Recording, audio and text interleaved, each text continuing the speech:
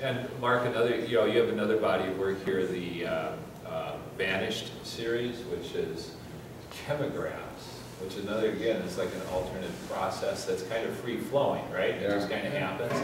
And it's, uh, it's about the lost musicians and artists and composers during the Third Reich, a horrific Yeah, period. Lots of, uh, lots of people were lost, lots of artists were lost, lots of artists that probably we didn't, you know, artists we maybe knew about and artists that Yeah. were yet to be. yeah, yeah. Yeah.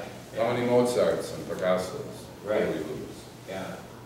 And uh, they're kind of, they're haunting, but I wouldn't, you know, I don't think they're depressing at all, but uh, can you explain the, the process? And even like, you know, how long have you been doing this portfolio? This isn't like an overnight thing, is it? No, it's been since about thirty years. Wow. It's uh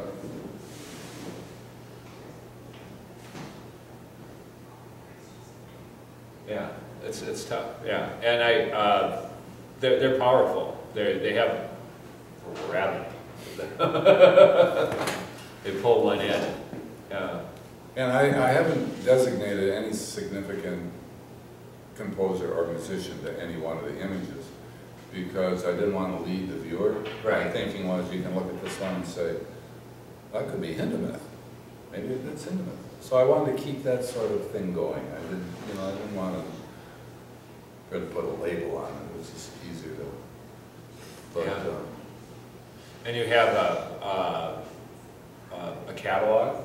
Catalog, That's gonna be available, and- you also have uh, portfolio. a portfolio. All right, and uh, what are the, what are the, the the portfolios chemographs as well, are they? Yeah, they're not, the Reproductions? re- reproductions would be, you're right. they're- All right. So, yeah, it's, uh, it's, it's been a nice spot. For me, it's, uh, it's a sort of a good contrast between the two. You got pretty flowers on one side, you got something that's perhaps not so pretty on the other, it sort of balances me out.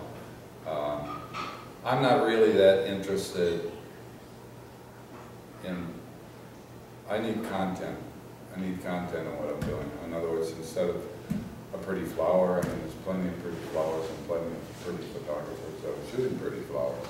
To me, uh, it's gotta, gotta be something to it. And maybe that's something that doesn't affect anybody else, but it's uh, kind of a selfish, self-indulgent thing maybe. Oh, I don't know, I think that's, art has that aspect to it. Yeah. So I, uh, I asked Ari if he wanted to do a show together, and he's like, yeah, that'd be a good idea.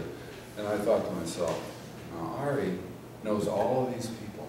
He's gonna have this gigantic following, and I'm gonna have a few people. So I was no fool, I thought, I'll just travel on Ari's shirt. So, thank you, Ari, God bless you.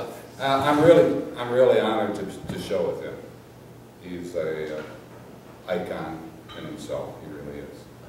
So, Thank you. So the butterfly was right. Yes, tying it together, Jack. The butterfly effect. Yeah. I want to thank you guys for sitting down with us, and I hope everybody, uh, not everybody, we couldn't have, we couldn't handle everybody. But I certainly hope that if anyone's thinking of coming to our opening on Thursday, September 1st, 2016, 6 to 10 o'clock, and we have lots of other gallery hours associated with it. You should go to uh, uh, vineartscenter.org to find out everything about it. And uh, thank you. Well, And I- I, I just want to be sure that when people do come, that they bring with them a sense of wonder.